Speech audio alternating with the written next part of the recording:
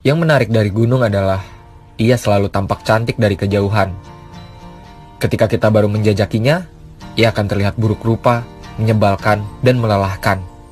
Tapi, jika kita bersedia untuk berjuang melewati segala rintangan, percayalah, wajah cantik sang gunung yang kita lihat dari kejauhan tidak ada apa-apanya jika dibandingkan dengan keindahan.